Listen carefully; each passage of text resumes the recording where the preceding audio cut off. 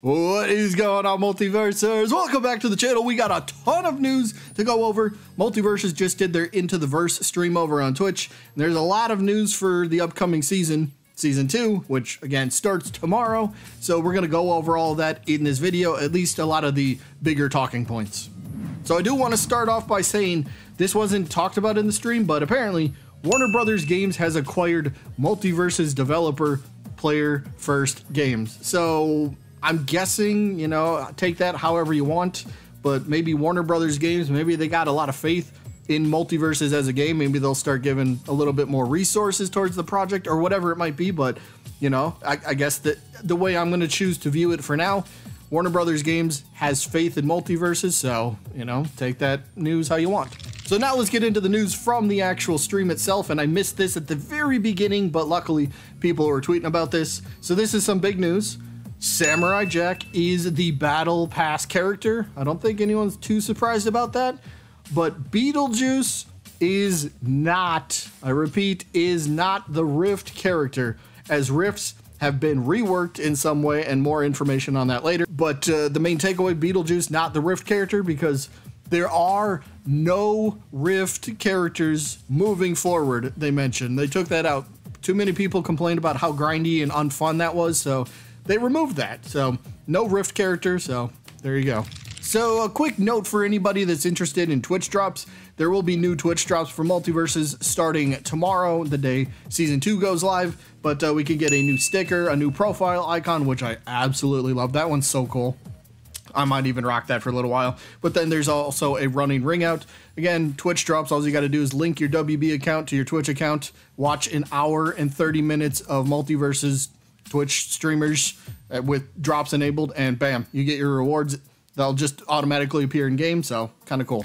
Now let's talk about the battle pass. We'll go over all the tiers, not individually. You can kind of see the images for yourself, but as we mentioned, Samurai Jack is the battle pass character. He's only in the premium version of the battle pass, meaning the only way to play Samurai Jack in season two, you have to buy the battle pass. You can't use uh, character currency you cannot use character tickets, much like Jason was in season one. But Jason and uh, Joker, they said, will be added to the character store now, so you can purchase them from there, which is kind of nice. I think you could always get Joker, but uh, they added Jason to the shop as well, just uh, as an FYI. But Samurai Jack, only way to play as him, get the battle pass, and you can see some of the rewards. Garnet getting another costume. There's a little bit of Gleamium, and by the way, I counted the Gleamium according to the video that they showed during the stream. There's only 900 Gleamium you can earn from the Battle Pass this season. Now, I think I'm maybe I'm crazy, but wasn't there more Gleamium you could earn from the Battle Pass in season one? Wasn't that more? Uh, maybe maybe they changed the numbers a little bit. I'm not sure, but 900 Gleamium. Maybe that's what the uh, the cost of the Battle Pass is. I don't know off the top of my head. It's either 900 or 1,000. But if it's 900, I guess if you earn all the Gleamium, well then you can get Battle Pass for the next season. Now let's go to up to tier 20. You can see a couple new things. Some more Gleamium, actually 200 total Gleamium from uh, tier 11 to tier 20. Get the new Samurai Shuffler at tier 15. Steven Universe gets a new character cosmetic or a character variant at 17, and he also gets a new character taunt at tier 18. So Steven Universe fans will be eating pretty good the first couple tier levels of the uh, the battle pass. Now going up to tier 30, uh, Toast is back. Toast is back in the battle pass, and I think that I think that's okay because I think there's only what two, maybe three. I think I think it might be three tiers in total. But uh, Toast is back, so we can earn a little bit of toast, which is always nice. People want to do that. But Bugs Bunny getting a new costume. Uh, there's a new ring out uh, milestone at tier 25. A little bit more Gleamium in there. We get some more character currency uh, at tier 30. Uh, what is that, 600 of it? So there you go for that. Moving up to tier 40 now, we get some new ring outs at tier 31. Gizmo gets a biker look at tier 35. They said Stripe got it during this first season, so Gizmo needed to kind of match that as well, so that's kind of cool. A little bit more gle 200 Gleamium at tier 37. New Scooby Snacks ring out at tier 39. Now moving up to tier 50, we got uh, the first few tiers are kind of okay, nothing too crazy, but the last three, 48, 49, and 50 are probably, I guess, the best. But uh, Black Adam gets an entertained yet sort of uh, emote, which is kind of cool. And then uh, Jake getting another character variant at tier 50, which uh, I'm pretty excited for, if I do say so myself. But up to tier 60 now, we get uh, some more Gleamium at tier 53. Uh, Banana Guard's getting a new emote, Peanut Butter Jelly Time, which is nice. A little bit more toast at 56. Finn is also getting a new character variant at tier 57, which is nice. And then uh, tier 60 looks to be a free player banner. Is that the sun screaming from Rick and Morty? So, kind of a fan of that myself. And then tier 70, what is the 70? What is the reward at 70? Well, Samurai Jack's the character, so it makes sense that he gets the tier 70 skin, and that is the Lost Jack. Now, if you watch Samurai Jack, this is a pretty dang fitting, a pretty damn good fitting character variant, if I do say so myself. So I, as a fan of Samurai Jack, have absolutely no issue with this. This looks great. Can't wait to acquire this. But uh, 261, awesome looking Joker profile icon right there. Pretty cool. So there's a lot of cool ones. 68 has the uh, the meme of Aku ordering pizza extra thick. So that'll be fun. I think a lot of people will rock that if they make it that far in the Battle Pass. And well, that's kind of it for the Battle Pass. Now over to the new stage that will be coming around the midway point in season two, and that would be Teen Titans Towers. So that's kind of cool. They showed us this, and they mentioned that there's uh, two versions. This one is going to be the competitive version. It's to be just the main platform right there in the middle, the the bluish gray one, as you can see, not the red part in the background. That is not a part of the playable stage, but uh, you get the main platform and then two small floating platforms. So this is kind of like a small battlefield type of stage. So uh, should be fun. But again, this is a competitive version of the stage.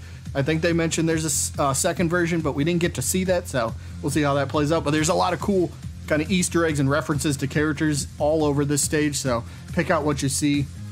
There is the Aquaman uh, statue over kind of on the left hand side. There's many, many more, but I'm not going to break all that down right now. So uh, on to the next thing. There is a new event store coming to the game, which is kind of interesting. So uh, you can purchase some of these things. As we can see, there's a few new skins. Baseball Finn, Tennis Tom and Jerry, Seven Kingdoms, Team Fencer Arya. There's even a golfer, Marvin the Martian. Uh, there's also Warm Up LeBron if you missed him from the uh, the event that ended at the very end of season one. But uh, there's some new characters in there, and you can earn these medals, I believe, through Rift mode, and they have their own event tracks, like they're the last tier of an event track you earn a medal, use the medal, and automatically acquire things. So it's kind of a, you know, you don't got to pay any Gleamium for it. You don't got to pay any real money. It's just earn a medal in game, take the medal to the medal shop, and buy whatever you want. Kind of cool. Now for Rift difficulties, they mentioned a lot, so I'll let the the clip kind of play in the background because they mentioned quite a bit here. We had um, uh, uh, unlock at the beginning with easy, and then it would go into experience, and then progressively the difficulties would uh, uh increase throughout the season, but some of them wouldn't uh, be shown because uh, it was meant to be uh, easy and then a higher difficulty later to progressively increase with your gems. Uh, this season, there is only one gem, and that is the Discipline gem. Uh, and with that gem, uh, there will also be four rifts instead of the eight. we wanted we wanted to change up the way that rifts work so it's easier to be able to play as you go. Um, and uh, you will also be leveling progressively with that one gem. Now, that does not mean that you will be losing the other gems, of course. For anybody who might be, uh, I've seen that question pop up quite a bit. Your gems do not reset from uh, season one, so those will still be used, including some uh, additional missions that will be happening, such as that one up there. And uh, we will be uh, progressively looking at new ways to use gems throughout previous seasons as well. Well, yeah, that that was a lot. Only one new gem type for the entire season, which I think is fine. That's okay because we get to keep our old gems, our old levels. None of that got removed from the game. None of those got reset. Everything that we have currently right now remains going forward into the future, so that's nice. But only one new gem type, only four rifts for the entire season, so that's uh, a little strange. I guess a new rift every other week now, so Eh, we'll see how we feel about that. But people were complaining rifts were just too unfun and too grindy, so I guess that was their solution. Just make less of them. So there you go with that. Uh, and then they also mentioned that Toasty is going to be a companion that you can unlock, and he has his own little event track that you can, well, complete. And as you can see, you get like a Samurai Jack skin, or not a skin, but a Samurai Jack badge there, and then some Battle Pass XP. But then tier 3 and 5, you can see it's an icon for Toasty, and uh, during one of the rifts, you actually unlocked Toasty, and he helped deal damage in battles. So it looks to be this is going to be something that they experiment with going forward for rifts. you can have Toasty as a companion who fights alongside you, and you can level up Toasty, which is what those icons do. So they give Toasty experience, and well, the higher his level is, the more damage he should be uh, doing. And I, I guess that opens the door to future companions as well for Multiversus. So that'll be I'll be curious to see how they take this from there. But uh, kind of cool that uh, Toasty will be with you out will be with you out there on the battlefield.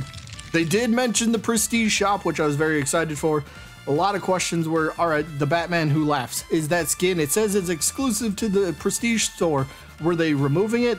No. Everything that gets put into the Prestige store will never leave. Everything will always be there, so it's kind of cool. And they mentioned a few new ones.